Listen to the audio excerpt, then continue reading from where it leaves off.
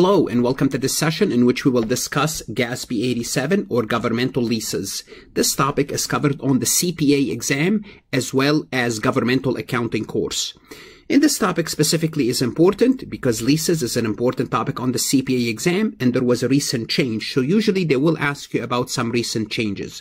So what I would do in presenting this topic, I'm going to show you the old rules real quick then the new rules for after GASB 87. This way will give you an idea about what to expect for the CPA exam. Now, before we start, I would like to remind you whether you are an accounting student or a CPA candidate, I want you to take a look at my website, farhatlectures.com. I don't replace your CPA review course. So if you have a CPA review course, you can keep it. You need it to pass the exam. I am a useful addition. I'm a supplemental resource to your CPA review course. My material would work whether you are using Becker, Gleim, Roger, Wiley, or any other course.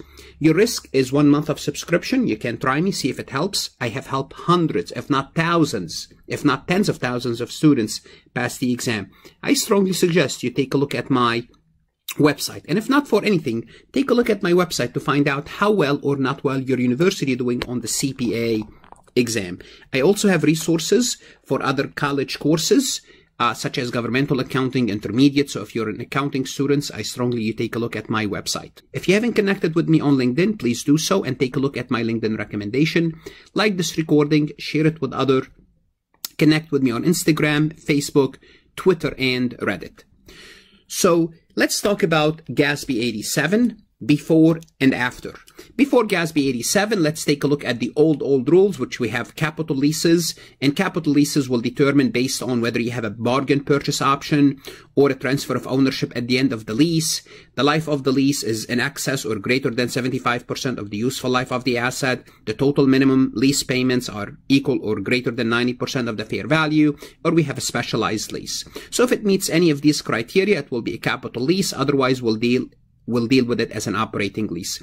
Now for this topic leases, just to kind of make sure we all we are all on the same page, you can go to my website and look at my FAR material, or you can look at my intermediate accounting course where I cover leases in depth. So that's that's a different story. I'm just giving you an overview, a reminder, but you just want to take a look at this topic, please um, visit my website for those lessons. Now, after GASB 87, the government will classify the leases under three categories, short-term lease, lease with a contract to transfer ownership, and all other. What does it mean, all other? All others, it means it's not short-term, and there's no transfer of ownership. So you understand what all others are. So everything else that doesn't meet those first two criteria is all others. Now, how do we define a lease or what is a lease term? Just FYI, I'm sure you are comfortable with a lease because most likely you leased an apartment. What does it mean when you lease an apartment? Most likely you did lease an apartment. Uh, if you're a college student, it means somebody gave you the right to use this asset, to use their building, to use their apartment for a period of time. So it's a contract that gives you control and right. You can use the asset of another entity's non-financial asset, which is their apartment, and everything is specific in the contract. How long you're going to stay there, how much do you have to pay, rules and regulation. Now, from a governmental perspective, you have to understand the government can be a lessee or can be a lessor. For example, the government can own a building and they can lease this building to a third party. Or the government might need a building and they might lease it from a private party. So it's either or. They can, there's copiers, land, equipment, so on and so forth. So that's why we have to understand the lessor and the lessee. The term of the lease is usually, not usually, it should be specified in the contract. And the term of the lease is usually, usually the non-cancelable period, which is the original period of the lease. You can add to it any reasonable amount of time assuming you're going to exercise to extend the lease because in the lease contract there's an option to exercise.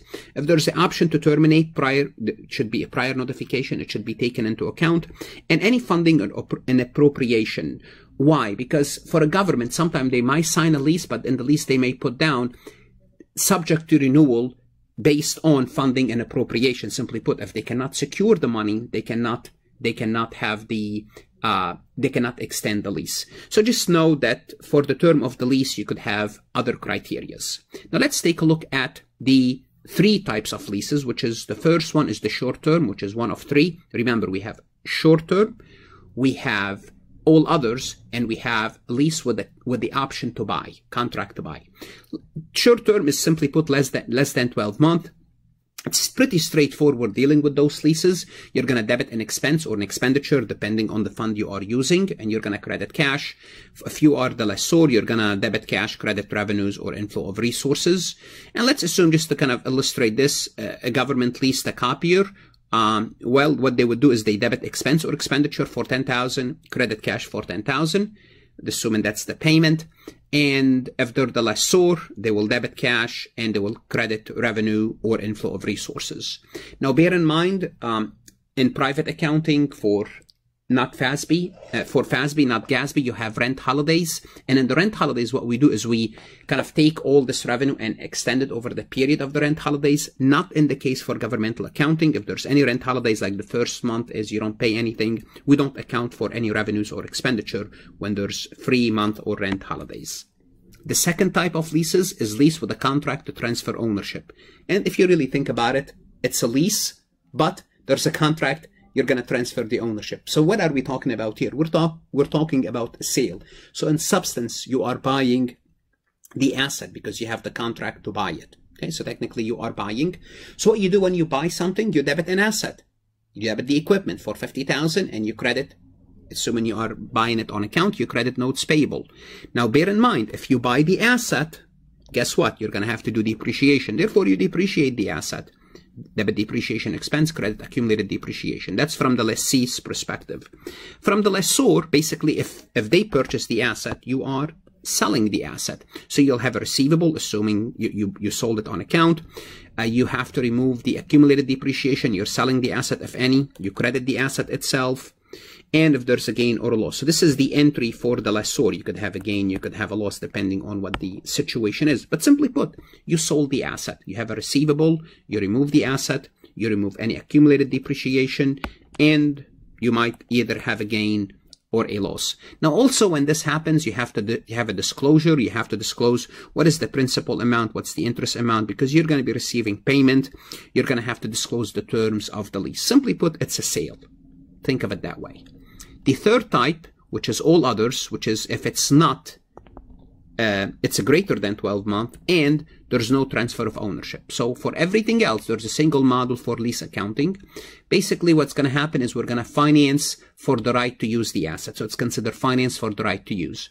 For the lessee, they're going to have the right to use assets. They're going to have an intangible, the right to use of the asset. This is what they're going to have as a debit because they have the right to use it. And obviously, they're going to have a liability, an obligation to make those payments. For the lessor, they're going to have a receivable and they're going to have a deferred inflow of resources. So how does it look like from an entry perspective? Well, guess what? For the lessee, when they lease it, they're going to have the right to use the asset and lease liability. So this is the debit and this is the credit. For, for the lessor, they're going to have a lease, lease receivable and they're going to have a deferred inflow of resources. That's their debit and that's their credit. So notice for the lessor, they did not transfer the asset. What does that mean? If they don't transfer the asset, it means they still have to depreciate the asset. Now, we're going to start to make payment as the lessee. Well, we're going to have to credit cash for the payment, and the payment will have to be split between some of it will be lease liability, because we have an obligation and we're reducing our liability, and some of it will be for the interest expense, because we have a liability liability will incur interest expense. So at this point, if you are dealing with this, you should know how to deal with a loan amortization schedule. Also, you have to do amortization expense because you have an intangible right of use asset is an intangible. And hopefully you know for intangibles, we have to amortize. So you debit amortize expense and you, you credit right to use assets. So notice you have two expenses. You have the interest expense for the lease and you have the amortize expense for the lease. For the lessor, when they receive subsequent payment, they would receive the cash, and the cash will have to be split between the lease receivable and revenue, which is form of interest. Then you will also start to remove the deferred inflow of resources and credit revenue. So, you know, those can be, can these entries be combined? Of course they can. And as I mentioned earlier, you still have the asset. You still retain the asset. Therefore, the lessor will have to debit depreciation expense and credit accumulated depreciation. And in a nutshell, those are the three types of leases that you have to worry about when it comes to governmental accounting. Now, look, Other CPA review courses, for example, Becker or Roger or Gleim or Wiley, they may take two minutes to explain all of this. I mean, uh, it took me maybe around eight to nine minutes. That's the that's the difference between what I do and what those CPA courses does for you. I explain it to you in details as if you never looked at it. Then those CPA courses, they may review it in two minutes or less than two minutes. Well, that's the difference is I can teach you the material, then you go to your CPA review course. Your investment is $29.99, one month of subscription. Give it a try. If you don't like it, look, that's the maximum you would lose. You cancel, say, this guy, you know, promised me that they will help me. He could not, and that's what you lost. Okay? But there's a potential that I can really help you understand the material, do better on your CPA review course, and do better on the exam itself. Don't shortchange yourself. The CPA is a long, is a lifetime investment. Take it seriously. Good luck, study hard, and of course, stay safe.